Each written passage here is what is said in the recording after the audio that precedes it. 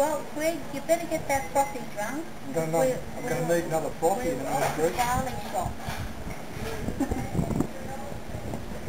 think we've had enough we